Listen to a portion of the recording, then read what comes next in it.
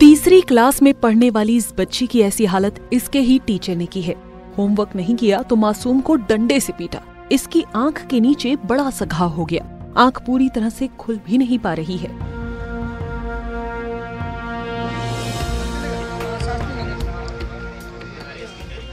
बच्ची की आँख पर गहरे जख्मों को देखकर घरवाले सख्ते में आ गए। माँ रोने लगी। पिता दिलीप भाटी भी घबरा गए और सीधे पुलिस स्टेशन पहुँचे। पुलिस ने रिपोर्ट दर्ज की और आरोपी महिला टीचर के खिलाफ चाइल्ड एक्सप्लॉयटेशन का केस दर्ज कर लिया है। दैनिक भास्कर डॉट कॉम की रिपोर्ट।